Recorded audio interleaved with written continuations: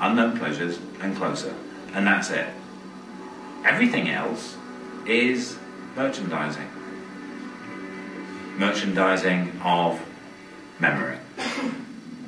We live in a, in a time where brands are everything. But Joy Division were beyond all that because you could simply trust what they were doing. Joy Division in particular, Factory in general, Ian's story is one of the last true stories in pop.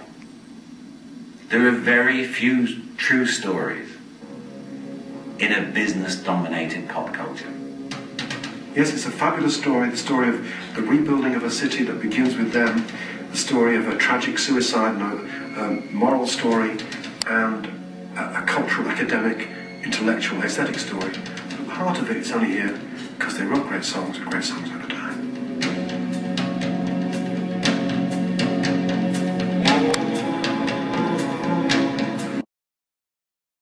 we did the, the launch in Los Angeles last week, we did it in this beautiful place where Zune, Microsoft Zune had hired, and uh, it was absolutely gorgeous. And they had all these girls walking, all these out-of-work actresses.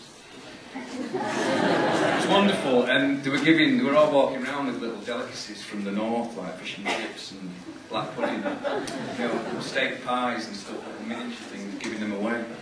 And I thought, oh, this is fucking great, this. And then I looked up and I caught sight of the documentary, and it was, showing, you know, Salford. And I went, oh.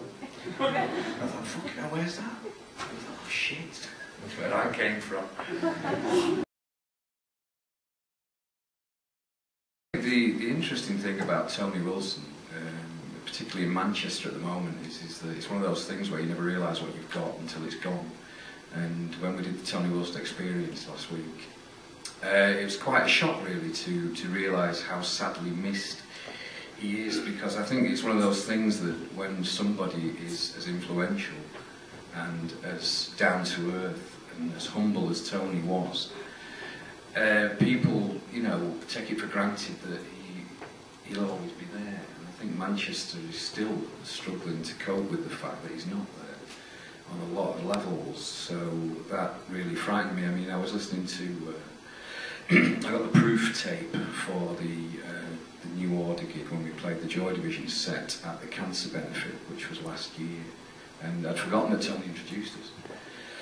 And uh, six months later, he was he was dead.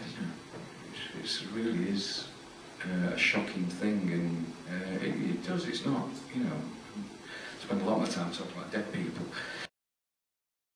He's a fantastic individual. He took a small inheritance, invested it in local things, in local projects, um, very brave, and, and, did things exactly to his taste, things that he was passionate about. And I don't think you find many people like that. And it was, you know, it was a wonderful. I'm really deeply happy that I made the documentary so other people could see something of him besides 24 Hour Party People, which is a fantastic film and accurate, but Tony's life played for laughs he's a very brave, very intelligent guy. You know, the band was surrounded by intelligent people and articulate people. Um, Peter Saville, a fantastic and respected designer, and Tony, wonderfully articulate and brilliant man. I mean, what good fortune to have people like that in your life and and to talk about subjects that, that you're passionate about. And uh, we filmed him twice the last time you can see is he couldn't shave anymore um, because of drugs he was taking.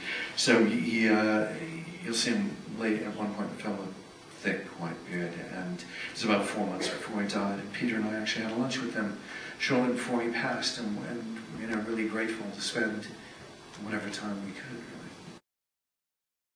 Really. Annik had never spoken to anyone on the phone. It took me six months on the internet to have a relationship with her.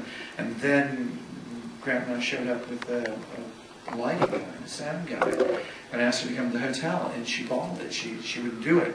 I had to beg her to come over, and I just started talking to her. I just told Grant to fire it up as I was talking to her, and she's crying. You know, it's those are those are wonderful things. They only happen once. They'll only happen one time, and it's uh, it's exciting. It really is exciting to get it um, do you ever wonder where you would be right now if you hadn't gone to that gig? Yeah. all the time.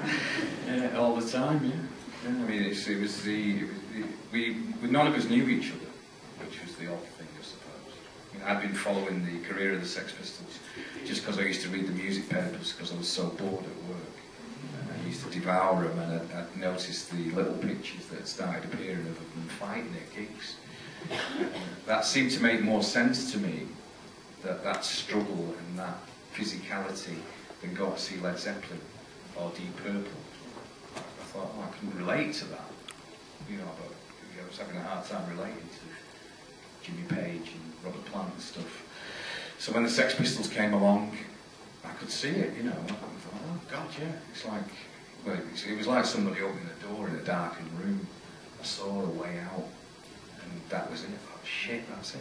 And it, it was quite an odd thing to do musically. I mean, when when I think about it now, because I'm a stroke musician, I mean, why the hell would four people suddenly decide they were going to make music when they'd never made music before, just because they'd seen a shit band?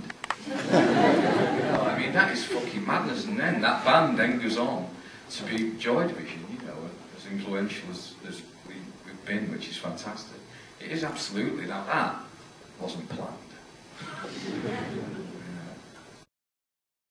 I mean, it's, it's, it's very difficult to, um, I still find watching this and watching Control each time I see it very difficult.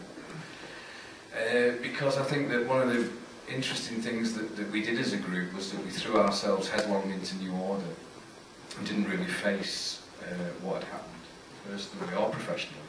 We just, you know, swept it. I mean, even I got shot when I watched the documentary and realised that we hadn't played uh, Joy Division songs for 18 years. It was weird for me to see Bernard and Stephen talk about it because we, we've never talked about it. So that was, really, that was quite odd for me. I've had a few odd moments the last couple of years actually. Um, when I write now, I, Don't oh, you know, let's like Joy Division or let's like New Order. You, you sort of surpass that. You can just do what you do, really. Mm-hmm. And then people say, oh, it sounds like Joy Division or it sounds like New Order. So, no, I don't. I mean, it's, you know, I'm fucking glad I was in Joy Division. Otherwise, I would have been comparing me to Joy Division.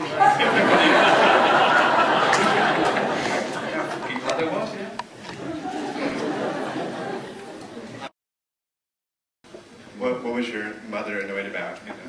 Many things, uh, long hair, being in a group, tattoos. She didn't speak to me for three weeks when I had my tattoos. I was 34. things like that. I remember, what was it, one, I remember going home one Sunday afternoon. This was, wasn't long before she died, actually, and I was late for lunch. She, she said, where have you been? I went, I've been for, I was doing an interview. And she went, are you getting a real job at last? I thought I'd been doing it 30 years. the interesting thing about the Joy Division brand, as in the, the, the t-shirts and stuff like that, is that we, we never did them as a group. We never did Joy Division t-shirts commercially. The only time we did them was when we were touring as New Order in 1989. And the t-shirt guy said, hey, you guys, why don't we do a Joy Division shirt? And we were like, what? That was the first time we did a Joy Division shirt. And we were like, and the weirdest thing was when we got investigated by the taxman, with, because of the Hacienda, when the factory went bankrupt, the taxman was sat there in his office in Manchester and he said to us, said, I've been through all your accounts, he said, and I don't see any money for the Joy Division t-shirts. And we said, we don't do know, He said, well, I see them everywhere I go. Everywhere I go, I see Joy Division t-shirts. And I'm finding you accordingly. We find us for not doing Joy Division t-shirts. Let that be a lesson to you. Um, are you, if you are looking at an album so. Well, if they are, they're doing it without me, love. split up a year ago. split up a year ago.